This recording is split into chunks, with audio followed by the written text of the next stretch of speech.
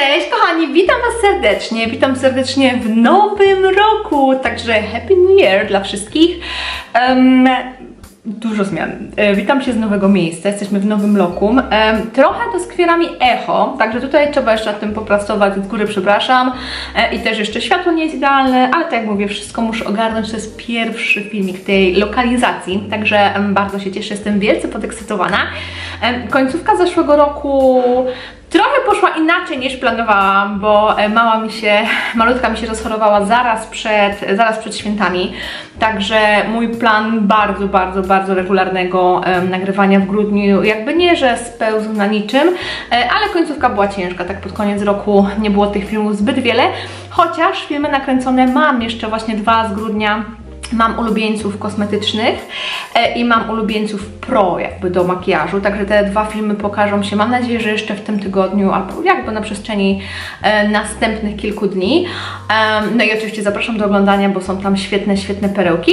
Natomiast wiadomo, life happens, po prostu życie zawsze zaskakuje, zawsze coś dziwnego się, zawsze coś dziwnego się e, zdarzy.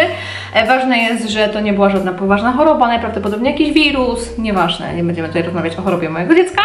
Mm, no, a nowy rok przywitał nas jakby przeprowadzką, tak jak mówię, jesteśmy w nowym miejscu, będę dyszeć, gdyż rosnę. Jestem już w 20 tygodniu ciąży, także półmetek, także to taki mały update. I tak dosyć długo nie nagrywałam, bo ja nagrywałam jakby całe święta i dopiero jakby no dzisiaj się za te nagrywki biorę, dzisiaj nie wiem, który jest drugi, trzeci, coś takiego, chyba trzeci. Także jak wiecie, i nowe miejsce, i nowe światło, i wszystko nowe, więc wiedziałam, że potrzebuję takiego filmu rozgrzewkowego, a że ostatnio zrobiłam, e, poczyniłam troszkę małych takich zakupków różnego typu, e, kosmetycznych, ale nie tylko, to stwierdziłam, że zrobię po prostu taki haul zbiorczy, kosmetyki, ale też wczoraj sobie kupiłam nowe buty, także Wam pokażę, um, też będziemy próbować dosyć sporo rzeczy i do biura, i do domu, także to też mogę pokazać w przyszłości, ale na razie kupiłam tylko stół i krzesła, które na szczęście, na, szczęście, na szczęście już doszły. E, zacznijmy od kosmetyków. Wiecie co? Pierwszą rzeczą, którą pokażę. Tam będą rzeczy jakby z Rossmana. Jeszcze mam kilka rzeczy z Inglota, ale może to nagram osobno z testem, bo to na się rozciągnie na 3 godziny. E, ale mm, na pewno świetną rzeczą, którą kupiłam, wiecie co, był lakier do paznokci, który mam teraz na paznokciach i to był taki glitter, e, taki czysty glitter na, czyst, na przejrzystej bazie i on, wiecie co, był z Vibo. I to była ta seria Vibo Fever Nail Polish. I to jest odcień numer dwa. I to jest akurat odcień czerwony, e, bo ten właśnie złoty, który kupiłam, który mam teraz na paznokcie, zostawiłam w domu w Rajczy i stwierdziłam spoko, no problemo. Poszłam i wiecie co, byłam w dwóch Rossmanach i nie było tego złotego, więc to jest jakaś edycja limitowana. Wzięłam różowo, taki różowo-czerwony. Bardzo ładnie to wygląda na paznokcie, bo tak jak mówię, baza jest przejrzysta e, i w środku mamy takie drobinki, taki drobny brokat i taki grubszy brokat. I ja z tymi lakierami, z takimi lakierami tego typu mam często ten problem, że ten brokat albo jest za rzadki, albo jest ciężko tak uzyskać jakby taką fajną, fajną, e, fajny poziom krycia. Natomiast tutaj dwie warstwy tej, tej formulacji wyglądają idealnie na paznokciach według mnie. Mm, także jeżeli gdzieś jeszcze znajdziecie złote, to Wam serdecznie polecam. No u mnie już złoty jest niedostępny nigdzie, wzięłam różowy. Zobaczymy jak mi się, jak mi się sprawdzi. To jest Vibo, Vibo Night Fever. I jakby chyba ta sama kolekcja albo podobna kolekcja. Kupiłam, wiecie co, jeszcze na egzemplarz tego różu, który już mam w moim biurku i który kocham. To jest ten Vibo Euphoria Creamy Blusher odcień numer jeden. Przepiękny róż. W ogóle już nie mówię, że świetna formuła jak na... Jak na otworzę sobie ten, który już mam, jakby cię czuję. Nie mówię już o tym, że świetna formuła jak na drogerię, bo to w ogóle, ale to jest po prostu świetny róż. Bardzo chętnie go używam. Mam go w takiej swojej podręcznej kosmetyczce. Bardzo ładnie się blenduje. Bardzo bardzo ładny odcień, taki dosyć neutralny, no bardzo przyjemny, bardzo przyjemny kosmetyk, który na promocji można znaleźć naprawdę za kilka złotych, także po prostu wzięłam, wzięłam dodatkowe opakowanie. W podobnym właśnie bardzo opakowaniu, wiecie co, jest ta kolekcja noworoczno-świąteczna Bell dla Biedronki.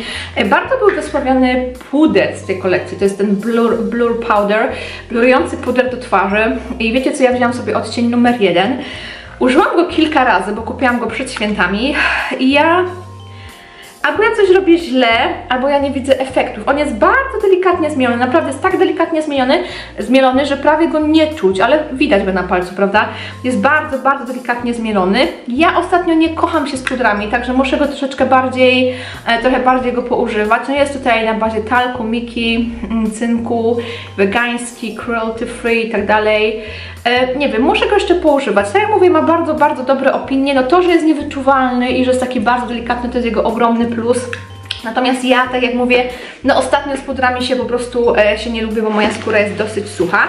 I też z tej kolekcji, wiecie co, zakupiłam na pewno cień, który mi uciekł, ale był na pewno tutaj. o jest. E, to jest Glossy Party Pigment e, i to e, jest odcień 02 Sparkles. Sparkles? Sparklers, przepraszam, e, którego jeszcze nie otwierałam, ale który swatchowałam w Biedrze, bo akurat wiecie co, były testerki, także zobaczę.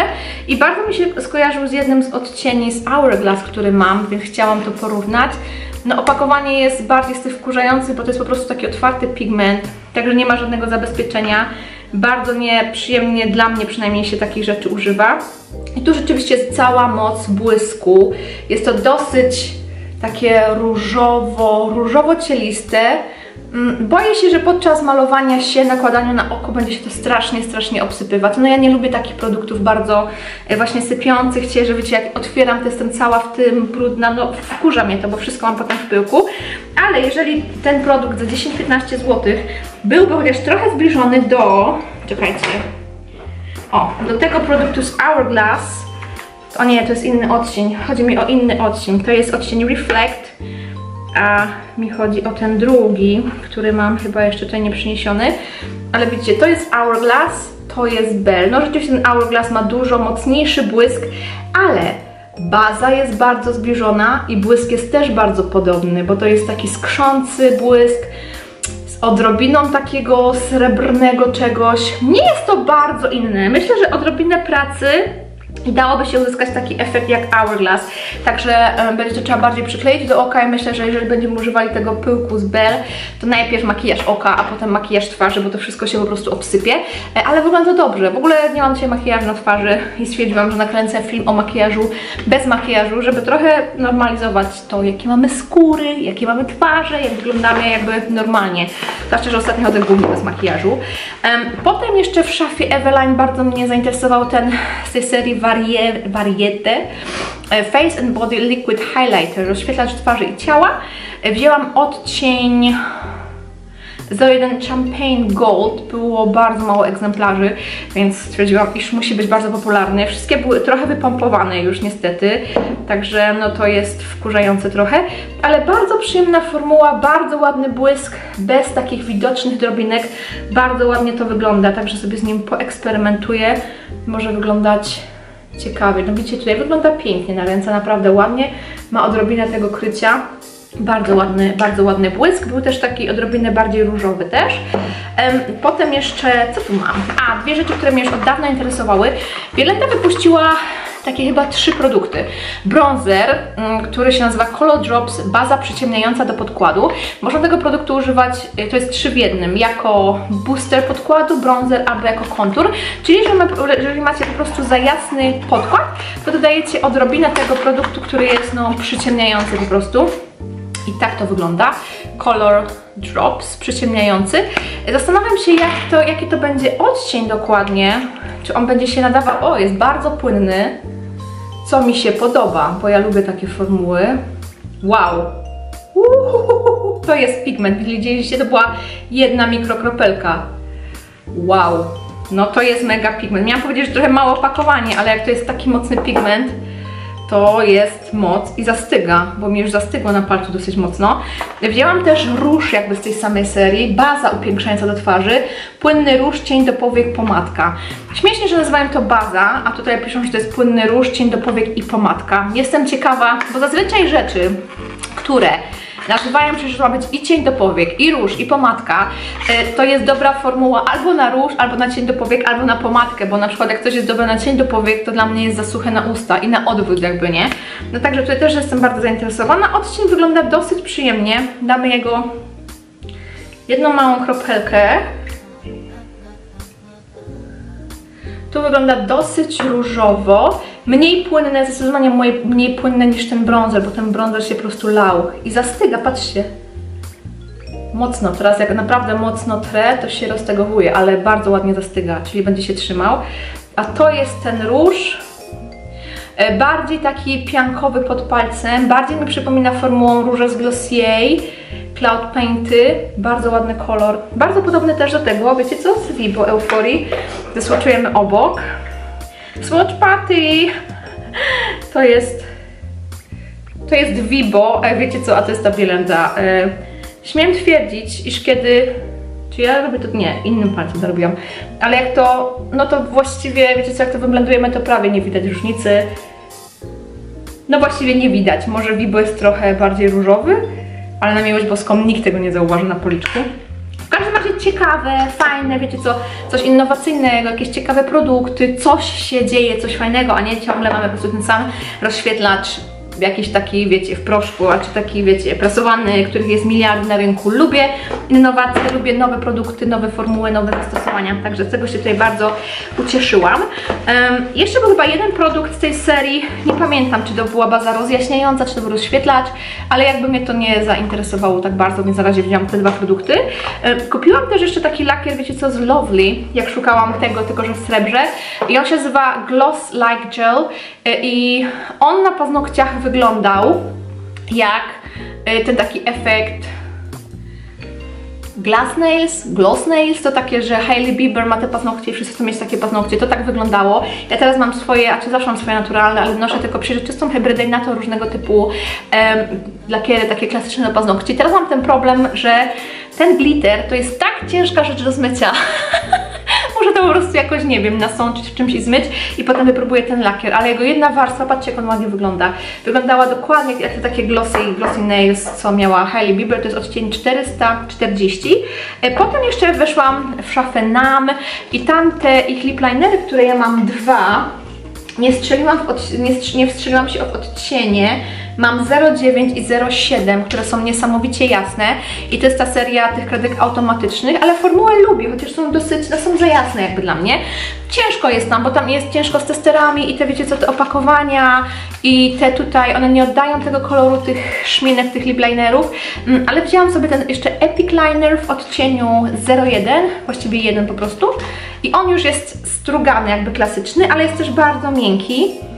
I ten odcień już myślę, że nie będzie za jasny. On jest taki bardzo ładny. O, jak w świętej pamięci Bond Girls z Charlotte Tilbury, tak mi się kojarzy. Taka odrobinę czerwoności, odrobinkę w tym jest brązu, taka rudość. Nie jest, nie jest za bardzo ciepły. Ma w sobie trochę i fioletu, i brązu, takiego, no bardzo ciekawy odcień. Vintage Pink się nazywa, ale to jest inny Vintage Pink niż te wszystkie Vintage Pink, które są na rynku, bo wszystkie Vintage Pink są, wiecie co, takie, o, takie jak ten na przykład z Vibo, którego nie potrafię otworzyć. Chociaż to jest ta sama marka. No nie, nie otworzę tego. Muszę wrócić Damiana, żeby nie otworzył. O jak to. To są takie wszystkie vintage pinki, takie bardziej, e, bar, bardziej wiecie co, fioletowe, nie? A to ma w sobie więcej czerwieni. Boże, muszę zaostrzyć tego Catrice, złożę sobie. E, I potem rzeczy mniej ekscytujących, znaczy dla mnie życiowych, rzeczy do stóp. Kupiłam nowy krem e, no, Neutrogena Cracked Heel Foot Cream. Ostatnio używałam cały czas kremów z Szola do stóp i były ok. Natomiast nie było jakiegoś efektu wow, nie zauważyłam, żeby coś się działo innego ze skórkami, wiecie, z tymi stwardnieniami, jak się nazywa, takimi... W tym miejscu jakaś taka twardsza skóra robi, to tam tak było jak zawsze, tak samo musiałam to, nie wiem, czymś skrabować sobie. Także zobaczę, jak się tutaj sprawdzi, sprawdzi neutrogena Cracked Heel do popękanych stóp i wziąłam sobie też maskę do stóp z Szola, nawilżająca maska. To nie jest ta maska pod tytułem łuszczą mi się stop po niej, tylko po prostu jest na, na nawilżenie. Sobie nie sprawdziłam składu, e, bo w ciąży jakby nie powinno się, nie powinno się używać e, kwasu salicylowego jakby stricte, ale tutaj nie ma żadnego kwasu, tylko właśnie głębokie, głębokie e, nawilżenie. Jakby nie powinno się używać kwasu salicylowego i retinolu, to są takie dwie główne rzeczy, których jakby nie powinno się w ciąży używać z kosmetyków i to są chyba takie rzeczy, których tak naprawdę przestrzegam, inne rzeczy jakby jakby nie. Dobra, i to są rzeczy kosmetyczne. Jeszcze wiecie co, pokażę Wam te buty, bo przechodziliśmy obok CCC wczoraj Mm, I chyba właśnie w jednym centrum handlowym tutaj będą remontować te CCC i to w ogóle wyglądało jak jedna wielka likwidacja. I myślałam, że w związku z tą likwidacją są mega promki, potem się okazało, że to są po prostu promki na CCC i wzięłam sobie a i w ogóle 500 historii w historii. E, wzięłam sobie tam kilka butów, kilka par butów do przymierzenia w moim rozmiarze, czyli 39. Jedne, które były totalną kopią od Stanley McCartney, tych takich, wiecie, butów na, na koturnie, ale ładne wyglądały, były srebrne, miały y, żółtą podeszwę, były naprawdę ładne. Natomiast w mój rozmiar 39 absolutnie nie mogłam wbić mojej stopy. Ja wiem, że jestem w ciąży i te stopy się trochę rozbijają, no ale nie, nie do takiego poziomu, nie? Mm, wzięłam sobie potem takie, ale nie było 40, więc w ogóle odłożyłam. Potem z Gino Rossi wzięłam sobie takie ładne loafersy wsuwane, um, takie zamszowe, ale wzięłam 40, z racji tego, że tam 39 to w ogóle nie ma opcji. I włożyłam stopę w tą 40, to miałam po prostu tyle z przodu jeszcze miejsca, po prostu takie, czułam się jak kaczka w nich, także kompletnie mogłam trafić strzelić się z rozmiarem, mm, aż trafiłam na takie, wiecie co, botki z Lasockiego, które właśnie, potem weszłam na stronie, one były na stronie, ale były wyprzedane. I one są z 249 zł na 74 98, czyli na 75 zł właściwie, właściwie. I one na, na stronie jak były, to w ogóle mi się jakby nie, ale one wyglądają bardzo ładnie na stopie, bo one są tutaj szerokie w okolicach kostki. To jest taka wysokość właśnie, wiecie, bezpieczna, też taka trochę kształt taki na Isabel Marron, takie wiecie, te, te klimaty, e, ale fajnie, że właśnie tutaj na wysokości kostki jest dużo luzu. I wtedy, jeżeli mamy właśnie dużo luzu na wysokości kostki, tam gdzie nam się kończy taki botek, to daje takie ilu taką iluzję, wrażenie, że nasza, e, nasza kostka czy tam noga jest szczuplejsza niż jest w rzeczywistości. Ja bardzo lubię takie rozwiązania. Mam trochę podobne, tylko takie jasne też botki, w których naprawdę bardzo, bardzo dużo biegałam.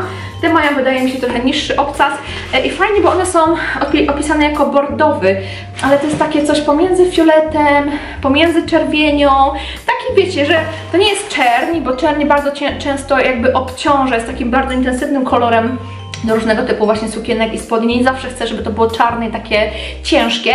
Tamte, które mam są takie e, w kolorze takiego kamelu, takie opalony kamel i to też nie zawsze jest ten vibe, który chcę, a to jest coś takiego, wiecie, pomiędzy. Nie jest to ani czarne, nie jest to ani jakby takie typowo jasne, e, więc myślę, że fajne rozwiązanie. No i ja bardzo lubię buty zamszowe, nubukowe, bo to jest jednak taka, taki materiał, który jest dosyć miękki, wygodny, nie cierpię zlakierowanej skóry, bo zanim to się rozbije, to jest po prostu dramat, są zawsze bardzo sztywne i niewygodne.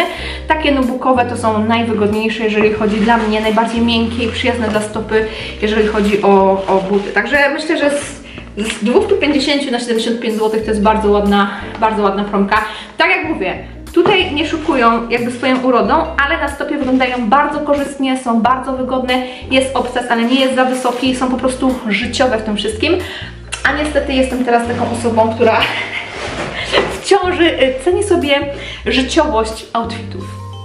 I jeszcze jeszcze do domu, wiecie co, kupiliśmy właśnie stół. E, to jest taki bardzo podobny stół, jak miałam e, kupiony, jak mieszkałam w Londynie, tylko tutaj jest większa średnica jakby stołu, nie będę tutaj przynosić stołu, wrzucę Wam zdjęcie. Takie po prostu w tym takim, wiecie, skandynawskim stylu. Zależało mi na tym, żeby ten stół właśnie był dosyć spory, żeby to była przynajmniej setka, żeby właśnie zmieściła się ja, Damian spokojnie i krzesełko dla rozalki, także e, idealnie po prostu, bo nam pasuje krzesełko dla rozalki perfekcyjnie, jest takie samo, bo jest biały blat i drewniane jakby nogi, także to nam, to nam w pełni pasuje. E, mówi się, że stoły właśnie okrągłe są nieustawne i zajmują dużo miejsca. Z jednej strony tak, bo żeby to fajnie wyglądało, to potrzeba trochę przestrzeni, żeby te krzesła się zmieściły, dało się je odsunąć i one się wtedy ładnie prezentują. No stoł okrągły jak jest upchany, to jakby nie ma tego efektu. Natomiast my akurat mamy taką przestrzeń, że na ten stół możemy sobie pozwolić i wygląda to bardzo ładnie. Lubię tę lekkość tych, um, tych um, tych ala skandynawskich właśnie mebli i tak jak mówię, w Londynie mi się sprawdził bardzo fajnie nie jest jakby za ciężki, nie jest za bardzo obciążającym, intensywnym meblem, zmieści się w bardzo dużo miejsc właśnie w mieszkaniu i te krzesła też są takie dosyć uniwersalne e, i bardzo w ogóle jest niedrogi, tak. W ogóle nie, nie wiedziałam o tym, bo szukałam po prostu okrągły stół i krzesła takie skandynawskie e, i dopiero potem się okazało, że to są chyba jakby jedne z naj, najtańszych takich zestawów i kupiłam po prostu na Allegro za parę groszy, dosłownie porównując z innymi takimi zestawami. E, dam Wam oczywiście link na dole w opisie. Nam się jak najbardziej sprawdza. Tak jak mówię, jest dużo dużo 80 60 jeżeli chodzi o stoły, a setek jest bardzo niewiele, udało mi się znaleźć i jestem pełnie zadowolona. Najlepsze jest, że przed ciążą po prostu mogłam siedzieć i gadać dosłownie godzinę. Mogłam robić live'a dwugodzinnego i cały czas siedzieć i gadać, a teraz 15 minut i ja i po prostu dyszę i muszę zrobić stop, pauzę, na chwilę po prostu pooddychać i mogę z powrotem mówić, no ale takie są, takie są uroki ciąży, ale jesteśmy już na, pół, na, połow, na, na połowie, tak, połówka, nie wiem, nie wiem jak to się, kiedy to się stało i jak to się stało. W każdym razie to będzie na tyle na dzisiejszy filmik. E, Chcę w ogóle zobaczyć, jak to się nagrało, jaki jest dźwięk, jakie jest światło, co mam tutaj robić. Wydaje mi się, że trochę tak wszystko to zimno wygląda. Zobaczymy. E, W każdym razie bardzo dziękuję za oglądanie. Bardzo dziękuję, że jesteście. Zapraszam do subskrypcji, jeżeli jeszcze nie subskrybujecie. No i oczywiście tych filmów z ulubieńcami, które pojawią się bardzo, bardzo, bardzo niedługo. Ja raz jeszcze szczęśliwego nowego roku i do zobaczenia znowu. Pa! Lajka. Ciebie to nie zaboli, a mnie da dużo szczęścia. Dzięki, pa pa!